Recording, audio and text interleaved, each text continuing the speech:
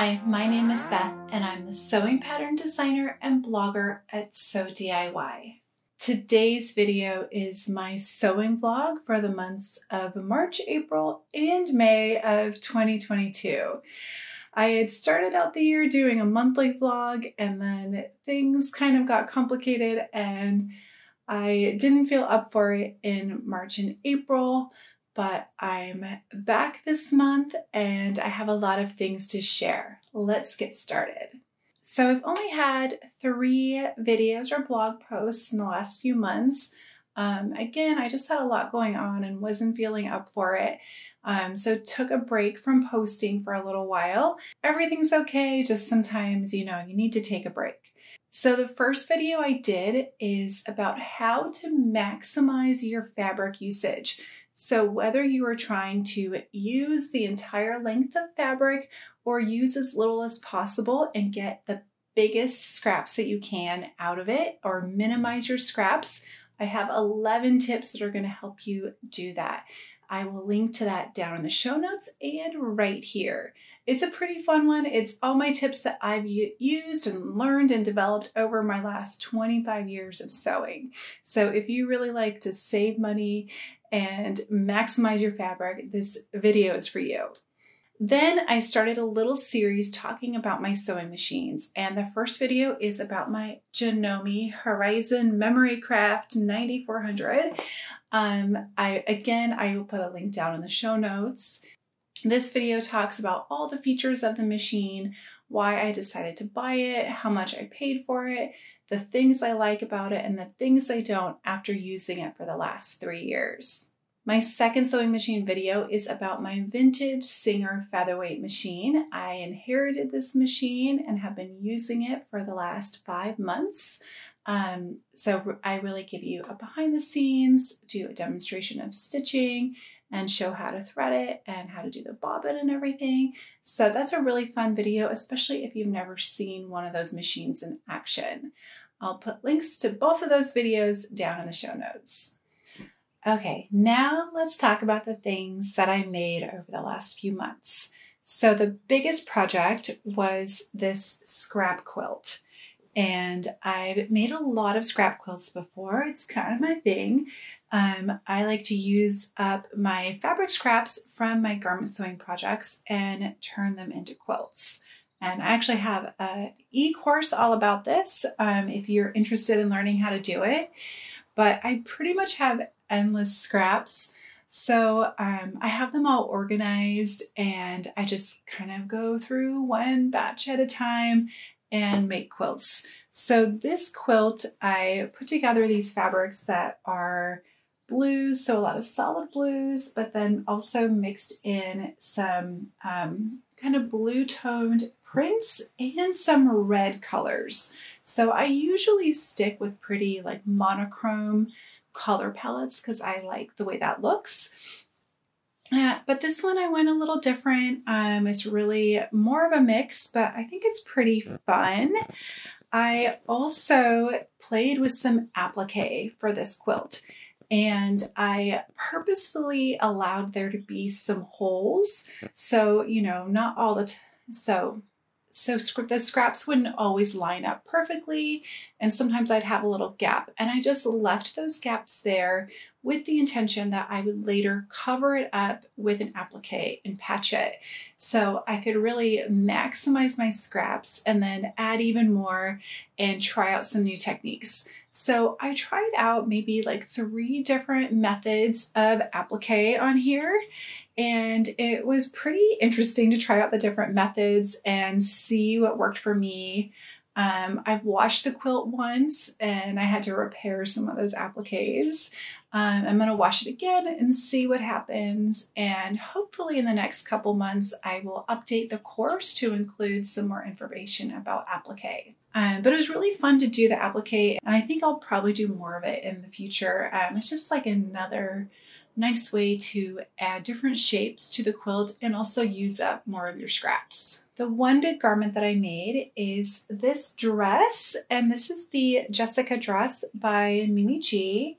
And I hacked it a little bit. I hacked the um, shoulder ties and I added the piping And I have not done a blog post about this yet, but I plan on doing one. And I made this for the Los Angeles Frocktails event, which was last Saturday.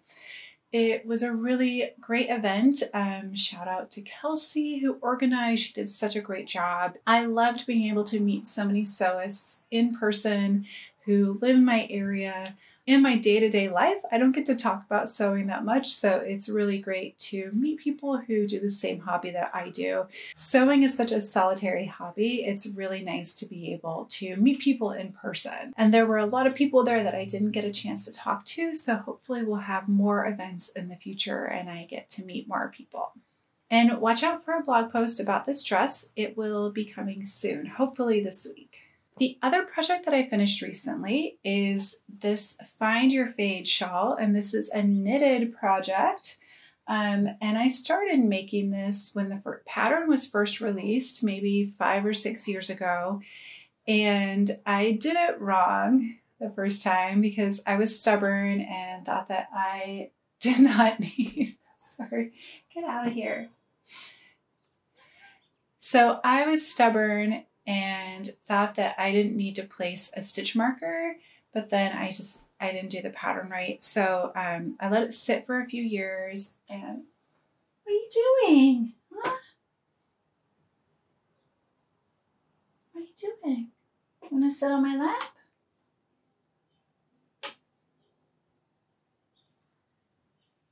Okay, be good. So I knit this up and finished it, but then realized that I didn't do it right and I never wore it. And I decided a couple months ago that maybe I would wear it more if I re knit it and did the pattern the right way. So I frogged it back about halfway and then re knit it.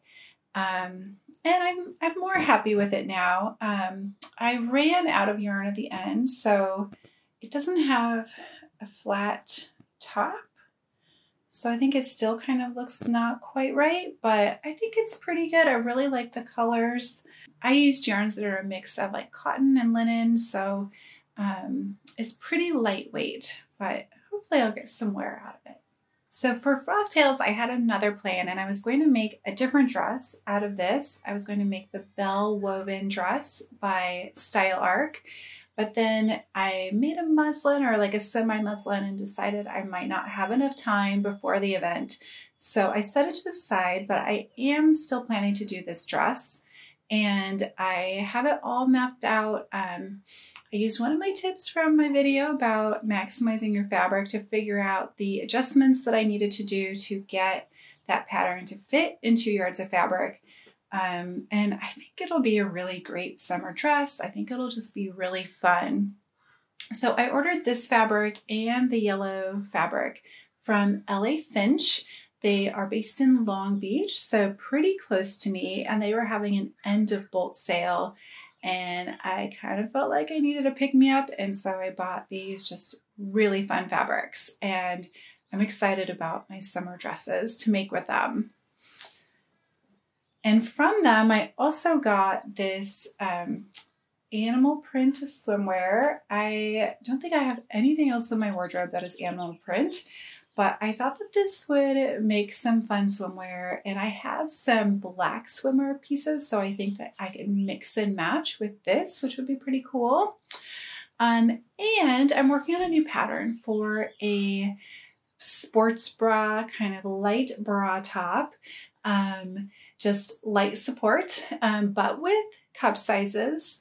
And I've made a muslin for that and it went really well. So I'm going to do some more muslining and I'll probably be using some of this fabric. And I also got some fabric from Maker Mountain and she's closing up her shop. So I wanted to support and I got a couple of these rib knit fabrics, which I think will work for the bra top. We're going to see.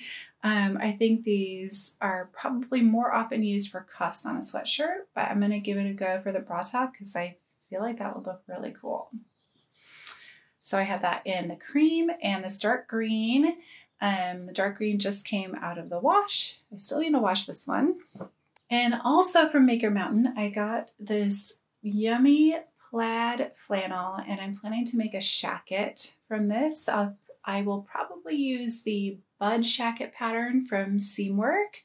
Um, I know it seems like maybe it's not that seasonal, but it always gets cold at night. And especially here in Southern California, the temperatures will drop pretty quickly. Like as soon as the sun goes down, it gets cold. So I always need to have extra layers to keep warm. So a shacket might happen sooner than later. And finally, this piece of fabric was a gift from LA Finch. She gave everyone who went to LA Frocktails a piece of fabric, and this is a rayon, um, just this really pretty, kind of delicate, dusty blue floral.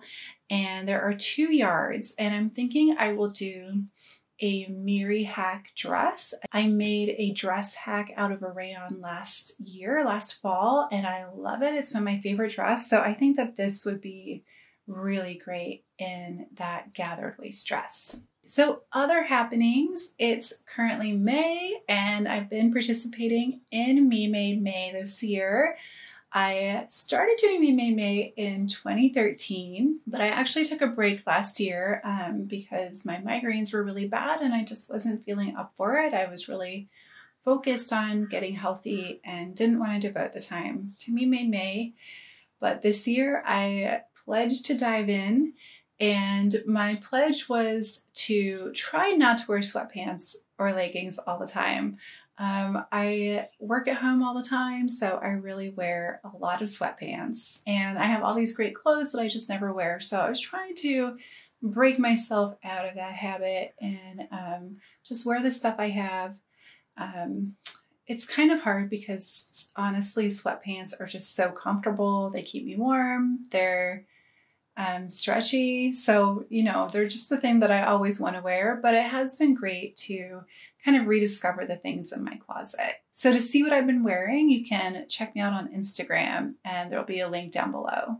Next month, I am going to be teaching a quilting class at a local sewing studio called A Moving Thread, and they are located in Venice, which is the west side of LA. If you're nearby and would like to take an in person sewing class, I would love to have you there. I'm pretty sure the class is going to be on June 25th or 26th. I will have a link down in the show notes for more info. I will be teaching the basics of piecing and quilting while we make a quilted pouch like this one.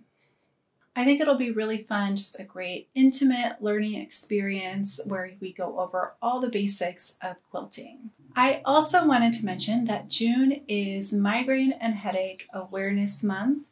As I mentioned, migraines have really been affecting me the last kind of year plus, and really to the extent of having often daily headaches, daily migraines, and not being able to live my life the way I want. And I know a lot of people out there face the same challenges. Migraines are real are one of the most common disorders around the world, and from what I've read, they're also very underdiagnosed and there aren't very many headache specialists out there. I've been really lucky to have a headache specialist who's nearby and who really listens to me and is helping me find treatments for my migraines, but I know that a lot of people have a lot of difficulty. I'm going to put a link down in the show notes for a podcast that I listened to recently that I think does a really good job of describing what migraines are like and some of the challenges that people face when they have them, and also some of the science behind the treatment and research and new developments that have come out in the last few years around migraine treatments.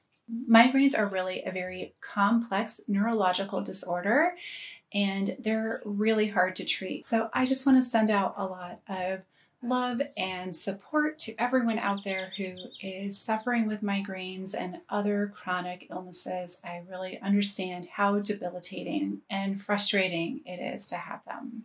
And maybe one of these days, maybe next month in June, I will do a blog post talking a little bit more about my migraine experience. It's definitely an ongoing journey of trying to figure out the best treatments and um, remedies. Well, I hope that you enjoyed this vlog. I will have links down in the show notes to everything that I talked about. Let me know in the comments if you have questions. And if you haven't already, I would be so honored if you hit the subscribe button. Happy sewing!